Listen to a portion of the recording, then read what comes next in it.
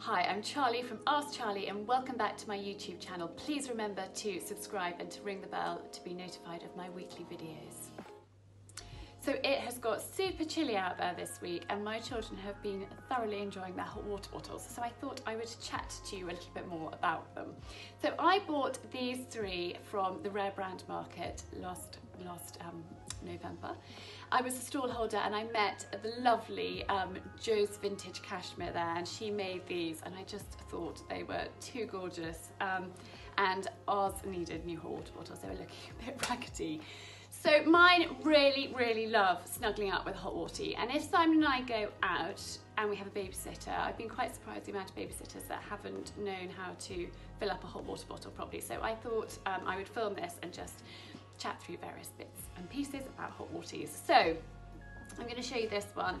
Um, it's actually got a hole on that side, if you can see, so I don't want to fill it up that way.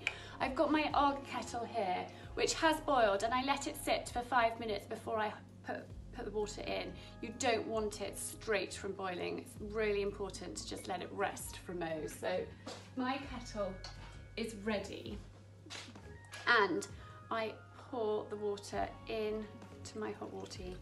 You don't need masses of water. And I think that is one of the biggest problems I've noticed is um, they've actually been filled right to the top, which actually can be quite dangerous. And it's also really important, I've got my tea towel ready, to let any air out. So just push the air out so you can see the water at the top like so and then have a tea towel to just dry around the top of your hot water bottle and make sure that the lid is really secure and tight. There's still a little bit more water in there. So that is ready to go. You can see it's not bulging. The air has been squidged out and so that is good to go. And I was chatting this morning with lovely, lovely Charlotte, who sometimes comes and helps me in the garden. We were clearing out the greenhouse together and we were talking hot water bottles. And I said I was going to film this this morning, and she said that a family tradition that they have is um, when they go up, they put um, their her mother or she now um, pops a hot water bottle in their pajamas or nightie.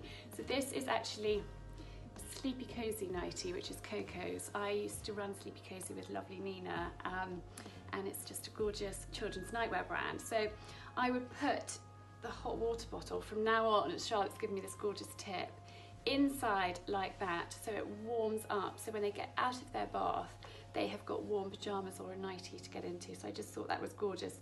Wanted to share that with you. Um, but I actually tend, I have been putting that hot water bottle in their bed ready to warm up, but now I shall, I shall do this because I think it's lovely. And actually Charlotte's just sent me a message to say that even when they were older, her, her mother would do that for them. So if they got, at, got back late um, and been out somewhere, they would still have snuggly pajamas, which I just think is really lovely. So these are the boys. But I also wanted to show you this one. So this is microwavable and it's lavender, so it smells gorgeous. And I just think that if you've got a tummy ache or a bad back or whatever, feeling under the weather, it's just really gorgeous to snuggle up with a hot water bottle. But you do have to be aware, don't put straight boiling water in and make sure, check your hot water bottle, check that the lid fits securely and you've properly screwed it on. And check that the hot, the rubber of the hot water bottle hasn't perished or anything like that. So you do, you know, have to be aware and be, um, you know, use your common sense.